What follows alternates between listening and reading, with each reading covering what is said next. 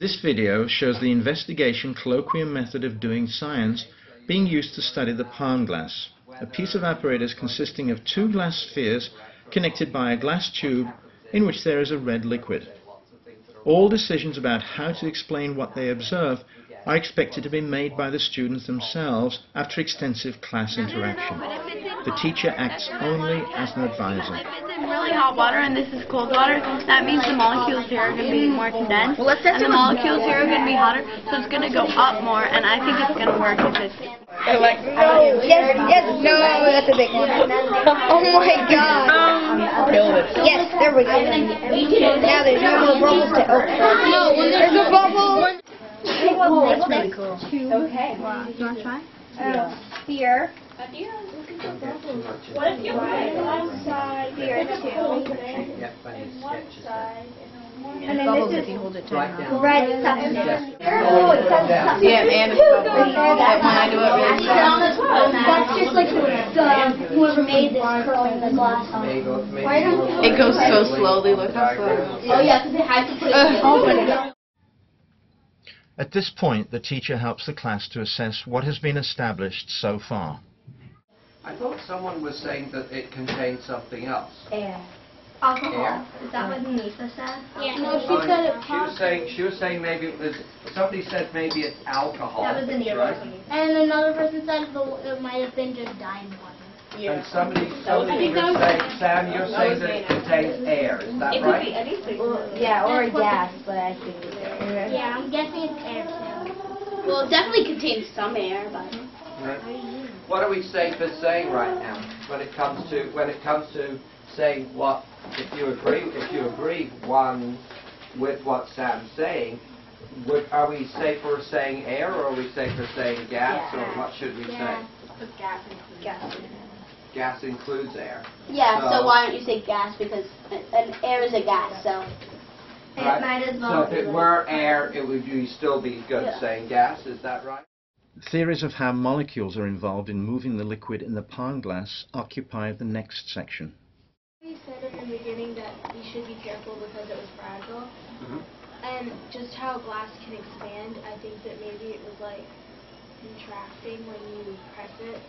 So like maybe because when you're when you're holding the um the bowl the, and the heat of your hand like makes makes the the molecules inside start to move faster because when like the heat makes the molecules move faster.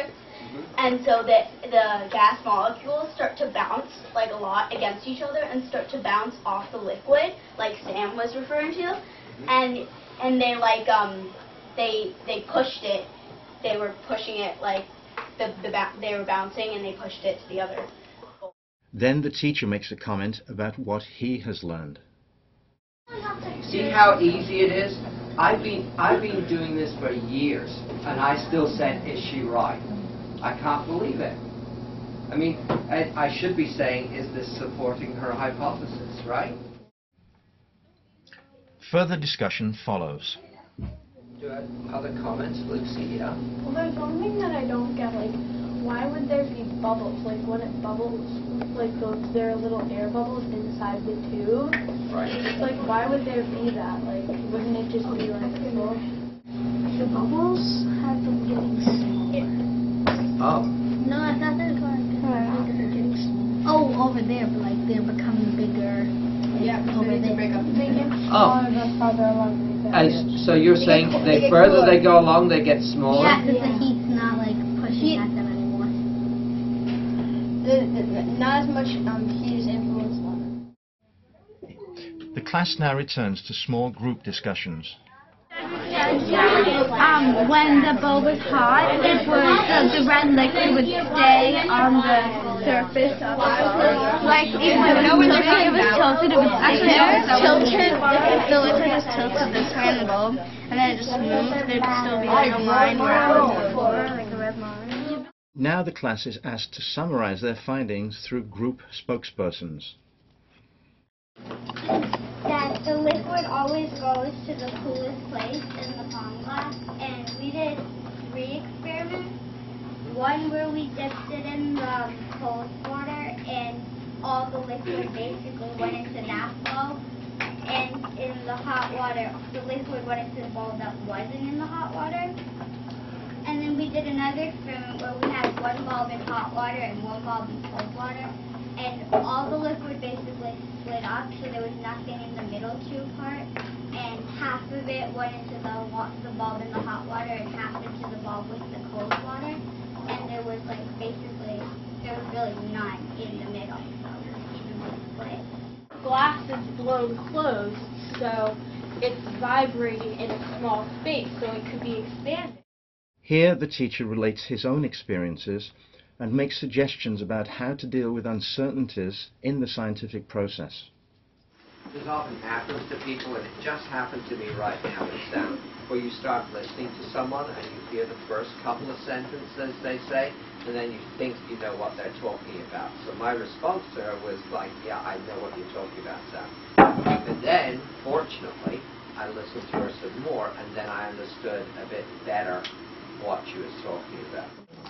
I have to tell you scientifically that unless you, you guys at the very beginning um, proposed heat versus pressure, right? I remember you doing that, right, Leela? And Leela herself went over to heat and or cold, right, as being the thing. So I would advise you, unless you've got strong reason to believe another causative factor, you gotta stay with heat. You've got it. That's the most because because you need to explore that box thoroughly. I'll admit that in sometimes you come to the end of that and you go, this ain't working, and so you try something else. But while you've got while you're pretty sure, you've got to stay with it. Debate about whether the liquid is water or alcohol leads to the following experiment. Alcohol's evaporating a lot. We don't know if it's evaporating. Yeah, look at it. Look at it. Maybe it's absorbent. I'm guessing. I'm guessing. I don't think the table is changing. Yeah, I don't think metal. Um, we noticed that since the alcohol was so sensitive to heat and it evaporated so quickly, that we think that's why it, it moves away from the heat when it's in the. Again, discussion is followed by further experiments and further discussion. So what are you doing now? So we're gonna put this inside the hot water to see if it evaporates. We put the tape here so we can see whether the, wa- the water level went down or not. The bottom of the tape is at the level right now. Oh, you can already see the red that's moving up. You can see the red marks that traveling up there. So that's what I was saying about the bulb tinted from the red, which might be, which is most likely the evaporation. And on the other side, there's liquid? Yeah, there's a lot more than there was before. Because remember when it was only down to here before? A concern raised about whether pressure or heat from the hand causes the liquid to move leads to the following suggestion. So if we were able to somehow heat the um, palm glass without eh, without affecting without maybe affecting something, then it would probably fog up if it heat. If This is getting hotter. you put it in there, It's definitely fogging. It's fog. It's fog. We did it.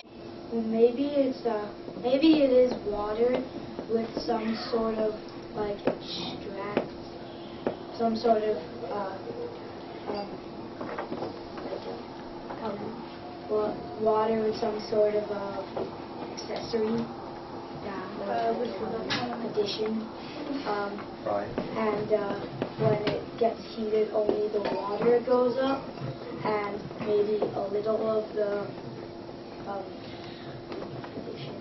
stays on, but um, uh, most of it uh, sticks onto the side because it doesn't go up.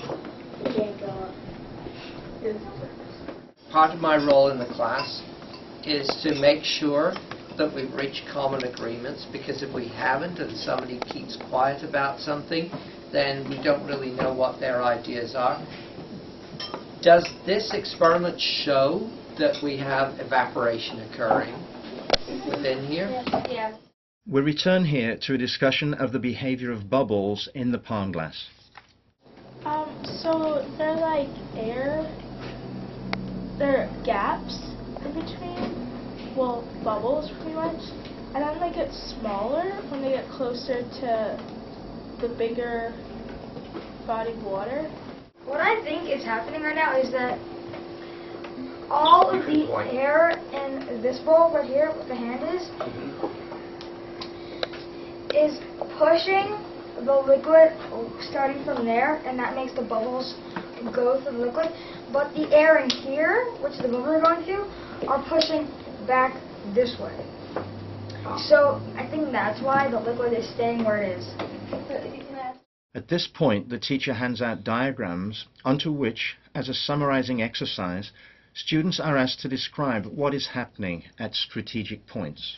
Air molecules inside of there is um are like bouncing around and pushing because they need more space to like go around and coming through the liquid.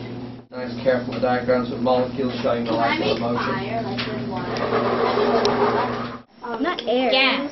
Yeah, gas and also whatever that evaporated thing is. Alana, you've changed your ideas? Yeah. How so? Because before, I thought that it was air, but then I realized that, like, if it was air, then eventually this would become too high pressure and it would start pushing back, but it never Everybody, does. new year, so new colored I pencils. could change it. So different idea. I think I'm changing it to, like, vapor, and before I thought that it couldn't be vapor because it would turn back into liquid, but when we put the alcohol on the table, just at room temperature, it already evaporated, so this wouldn't have to cool because it's room temperature, so it's hot. And then this isn't evaporating into the air because Dr. Fenton said that if there's really high pressure, then it might stop evaporation. So. This pressure was greater than the pressure over here, but it there wasn't it, it wasn't dense enough to cause the liquid to push back over into this bowl here. Okay, all I can say to you is that the only thing that solves scientific problems is evidence and logic. Evidence and logic. Whether you like the idea or not, it's evidence and logic that solves it. Does that make sense? So you have to go with evidence and logic. If you go with evidence and logic, even if it's not the right idea, you're still doing good science until you find a test that proves you're wrong. Does that make sense? So you, you, you've got to make up your own decisions now, okay? You've had a lot, you've done some splendid thinking. Well done. The project ends with the completion of the diagrams, during which discussion continues unabated. Is there evaporated liquid in there? It has to not be because that's the that's the um the, that's what the bubbles are. Evaporated liquid. It's not. It's this isn't evaporated liquid. No. The bubbles are. Yeah. There is still time to change one's mind. Uh, around the same idea, but I'm saying that there's a lot of heat and energy in the left bowl, and it's and it's and it's going into the thing and cooling colder, and then it's getting. That's what we said. That's what Julie said. But it's but it's temperature.